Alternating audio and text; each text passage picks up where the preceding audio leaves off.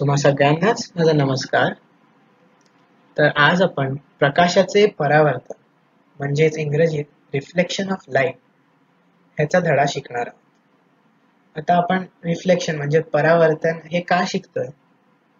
ते आहे कारण प्रकाशाबद्दल शिकण्यासाठी त्याचे एकदम बेसिक म्हणजेच साधे मुद्दे ह्याची माहिती असणं खूप गरजेचं आहे. त्याच मध्ये परावर्तन हे एक आहे. तर आपण सुरू करूया. आता ती पंचतंत्रामधली ही गोष्ट तुम्हाला लक्षात असणार. सिंहाने आपला आपली प्रतिमा ही विहिरीत पाहिली होती.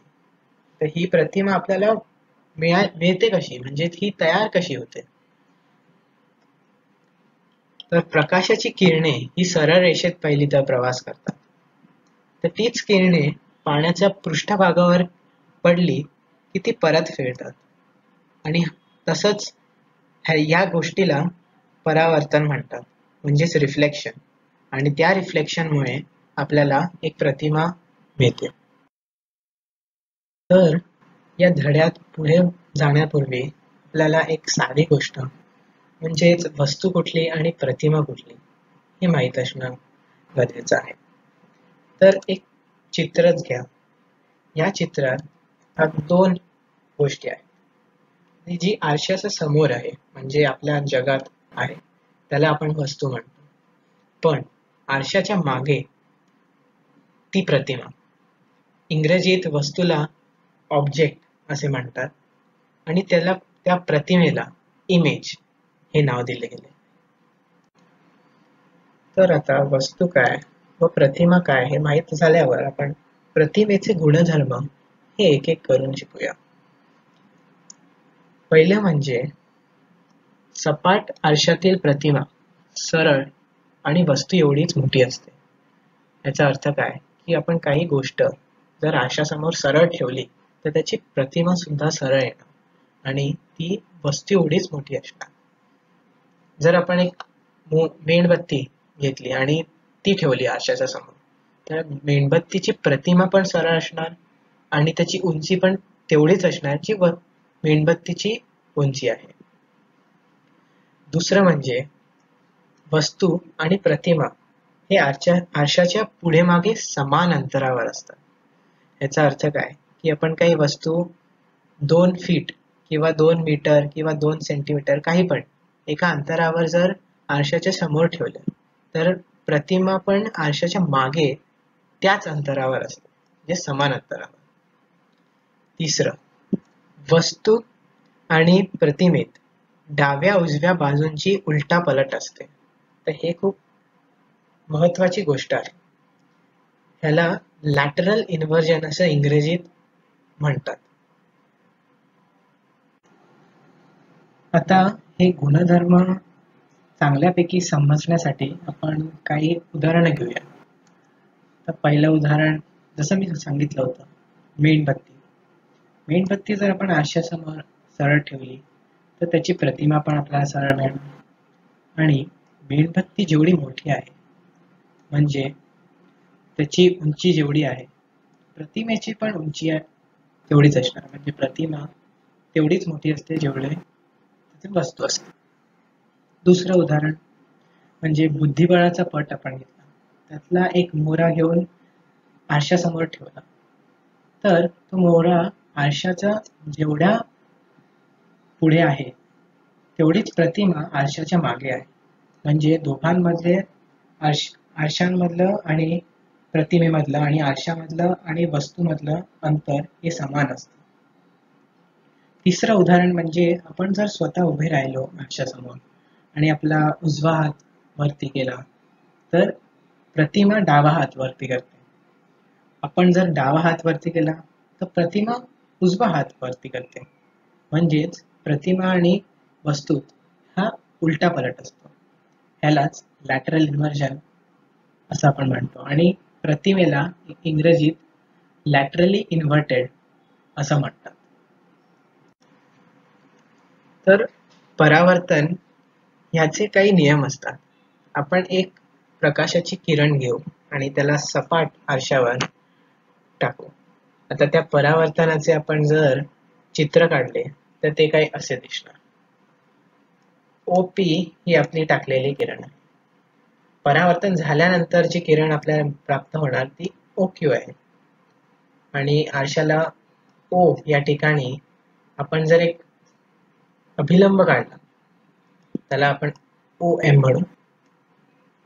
आता ओ पी ह्याला आपण आपाती किरण म्हणू. ओ क्यू ह्याला आपण परावर्तित किरण म्हणतो. आणि ओ एम याला स्तंभिका असे नाव आता पी ओ एम या कोनला आपातन कोण म्हणतात. क्यू ओ एम ह्या कोनला परावर्तन कोण आय आणि आर असे का? ते म्हणजे इंग्रजीत आपण ह्याला अँगल ऑफ इन्सिडन्स असे म्हणतो. आणि ह्याला अँगल ऑफ रिफ्लेक्शन असे नाव दिले गेले आहे. आता एक किरण न घेता आपण अनेक किरणे घेऊ. आणि त्यांना स्तंभिका आपण काढू. त्यांना अँगल आय आणि आर असे देऊ. तर प्रत्येक किरणाचे आपण आपातन कोण ह्याचा माप घेतला. आणि परावर्तन कोण? ह्याचा माप घेतला. तर आपल्याला हे मिळेल की जर आपातन कोण तीस अंशांचा आहे तर परावर्तन कोण पण तीस अंशांचा. आपातन कोण जर चाळीस अंशाचा तर परावर्तन कोण चाळीस. असंच पन्नास आणि साठ साठ. किरण कुठलीही असेल तरी त्याचा आपातन कोण आणि परावर्तन कोण हा सामान्यच असेल. आता परत तेच चित्र वापरून आपण हे म्हणू शकतो की आपाती किरण परावर्तित किरण आणि स्तंभिका एकाच प्रतलात असतात. म्हणजे ओ पी ओ एम आणि ओ क्यू हे तिन्ही एकाच प्रतलात आहेत. दुसरं म्हणजे आपाती आणि परावर्तित किरण स्तंभिकेच्या विरुद्ध बाजूलाच असणार. म्हणजेच ओ पी आणि ओ क्यू हे ओ एनच्या एकाच बाजूला कधी असू शकत नाही. जर ओ ओ पी डाव्या बाजूला आहे तर ओ क्यू उजव्या बाजूला. तसंच ओ पी उजव्या बाजूला तर ओ क्यू डाव्या बाजूला. हा दुसरा नियम.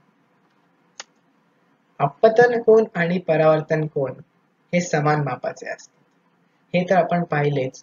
की आपण जर दोघांचे माप घेतले अपातन कोण आणि परावर्तन कोण आणि खूप सारे किरणे घेतले आणि एक एक एक एक किरणचे आपण जर माप घेतले तर दरवेळी दोघेही साम समान मापाचे असतात. आणि हे आहेत आपले तीन नियम. तर आता आपण या धड्यात काहीतरी नवीन शिकू. परावर्तनाचे प्रकार. परावर्तन हे दोन प्रकाराचे असते. नियमित आणि अनियमित. तर नियमित परावर्तन म्हणजे काय? की एका सपाट पृष्ठभागावर जर समांतर किरणे पडली तर परावर्तित किरणे पण समांतरच असतात. अनियमित परावर्तन म्हणजे काय? की उग्र अशा पृष्ठभागावर जर समांतर किरणे पडली तर काय? परावर्तित किरणे समांतर नसतात. ती कशीही वेगवेगळी जाणार पण वेगवेगळ्या ठिकाणी नियम म्हणजे परावर्तनाचे नियम हे पाळले तर जरूर जाणार. आता परावर्तित प्रकाशाचे परावर्तन हे एक गमतीची गोष्ट आहे शिकायला. हे एक चित्र आहे. यात एकच परावर्तन आहे. हे वालं नाही. खर तर दोन दोन परावर्तन आहे. सूर्याची किरणे ही या डोंगरावर पडतात. परावर्तन होऊन त्या डोंगरापासून किरणे या पाण्याच्या पृष्ठभागावर पडतात. अजून एक परावर्तन झाल्यामुळे ही किरणे आपल्या डोळ्यात डोळ्यावर पडली त्यामुळे आपल्याला पाण्यात डोंगराचे प्रतिबिंब दिसते म्हणजे प्रतिमा दिसते. म्हणून एक परावर्तन नसून हे एक अनेक परावर्तन ह्याचे एक उदाहरण आहे.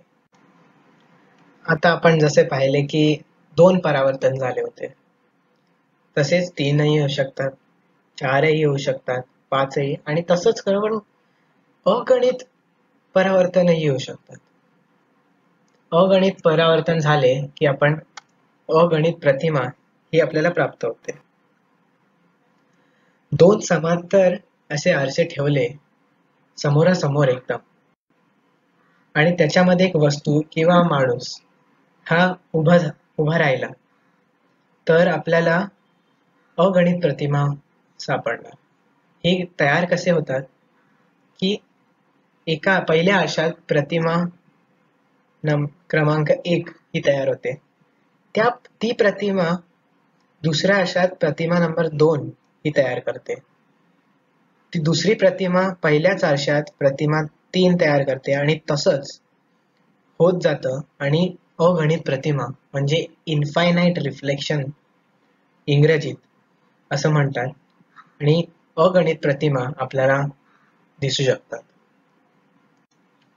तर आता आपण परिदर्शक किंवा इंग्रजीत आपण ज्याला पेरिस्कोप असं म्हणतो त्याच्याबद्दल शिकतो तुम्ही विचार करत असाल की अनेक प्रतिमा हे आपण का शिकतोय? किंवा त्याचे फायदे काय आहे तर अनेक प्रतिमा याचे फायदे एका परिदर्शातच बघायला मिळतात. आणि परिदर्शकचा वापर कुठे होतो? तो म्हणजे एका पाणबुडी. म्हणजे इंग्रजीत ह्याला एका पाणबुडीला आपण सबमरीन याचे नाव देतो. एक परिदर्शा दिसतो कसं? ते म्हणजे असं.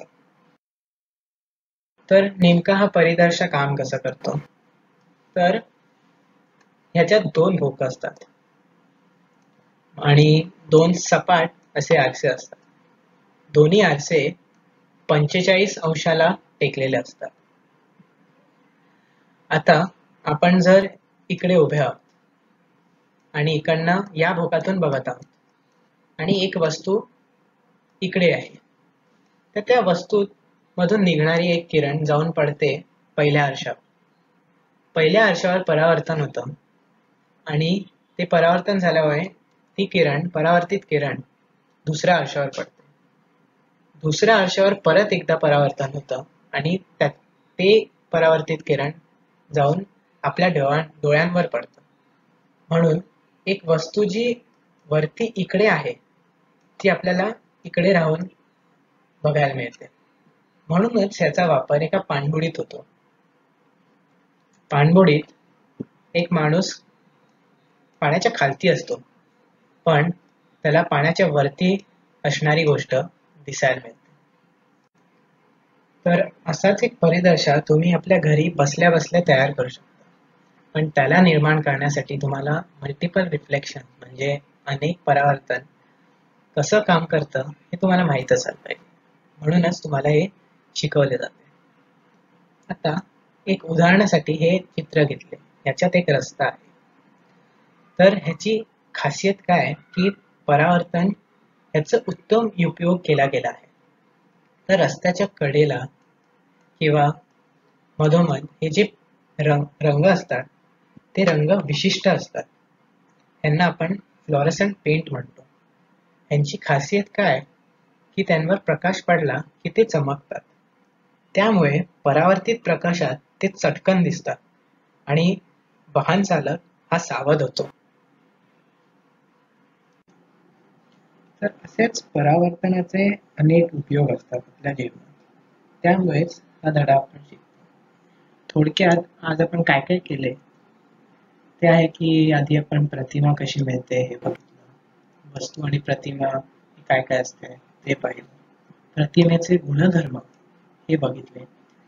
परावर्तनाचे नियम व परावर्तनाचे प्रकार हे बघितलं.